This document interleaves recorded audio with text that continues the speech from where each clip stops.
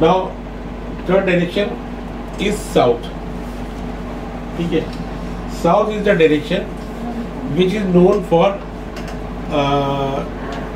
your mental peace शांति सुकून strength and fame ये सारी चीज़ें आपको साउथ से मिलती है। जो घर में सुख शांति होती है या किसी भी जगह पे सुख शांति होती है मेंटल पीस होती है, फेम होता है, स्ट्रेंथ होती है, वो साउथ डायरेक्शन ये हमें ताकत देती है, ये हमें हिम्मत देती है। ये हमारा कॉन्फिडेंस बढ़ाती है डायरेक्शन ठीक है? South direction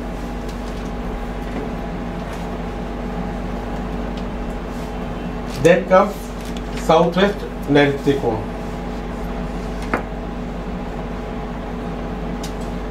नैऋत्य कोण south west is the direction which is related with stability ये एक ऐसी डायरेक्शन होती है, जिस, इसके दो तीन काम बहुत इंपॉर्टेंट होते हैं। एक तो हमारी लाइफ में स्टेबिलिटी लेकर के आती है।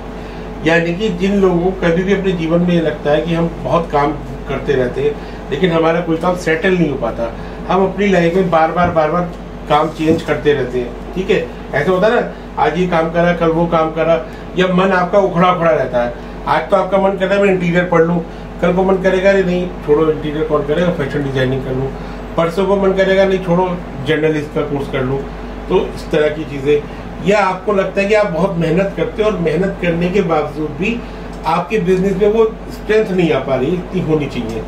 आप करते चले जा रहे हो, करते चले जा रहे हो, लेकिन आपका, आप आप मज़बूत अपने को फील नहीं करते कि मैंने इतना बिज़नेस आज मेरा बिज़नेस इतना मज़बूत हो गया स्ट्रांग हो गया, या इतना मेरे पास फाइनेंस हो गया है तो वो साउथ वेस्ट में अगर डिस्टर्बेंस है तो। दूसरा क्या होता है this is the direction for skills also जो हमारी एक्सपर्टीज होती है। तो कई बार ऐसा होता है कि हम काबिल बहुत होते हैं, लेकिन हम उस काबिलियत का हमारा एक्सप्लोरेशन नहीं हो पाता यूटिलाइजेशन नहीं हो पाता। कई बार ऐसे देखते हैं ना कि के अंदर टैलेंट तो बहुत है, लेकिन इसके टैलेंट का यूज़ नहीं हो पाता। ये टैलेंटेड है, लेकिन इसके टैलेंट का इसको बेनिफिट नहीं मिल पाता।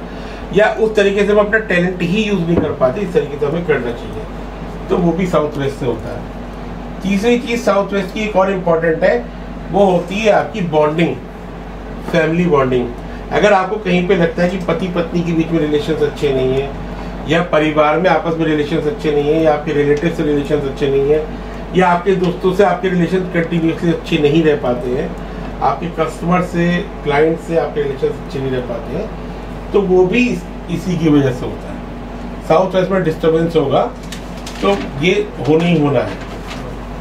ठीक है? देन कम्स वेस्ट पश्चिम दिशा। पश्चिम दिशा जो होती है वेस्ट डायरेक्शन जो होती है, ये हमारी विश फुलफिलिंग की डायरेक्शन होती है, इच्छा पूर्ति की डायरेक्शन होती है। हमारी इच्छा अगर पूरी हो सकती है तो सिर्फ़ पश्चिम दिशा ही पूरी कर सकती है।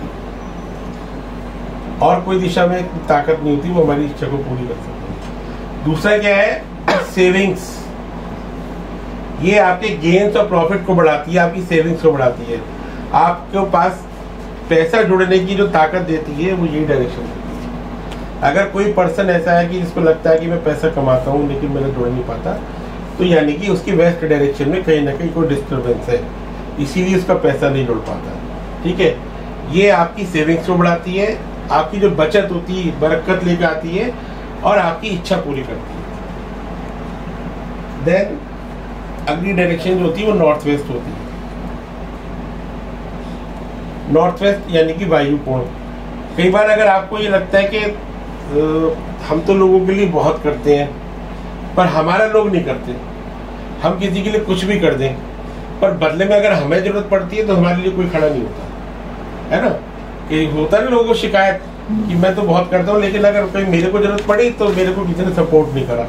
यानी अगर आपका सपोर्ट सिस्टम वीक है, आपको ऐसा लगता है कि मेरा सपोर्ट सिस्टम कभी भी अच्छा नहीं होता, मुझे लोगों से सपोर्ट नहीं मिलती है इट मीन्स कि आपके ये वाली डायरेक्शन में कोई ना कोई प्रॉब्लम है नॉर्थ वेस्ट में। इसीलिए आपको लोगों से सपोर्ट नहीं मिल पा ये इवन अगर आपका बैंक लोन किसी को कराना हो सपोज़ और पता लगा कि बैंक लोन ही नहीं हो पा रहा है।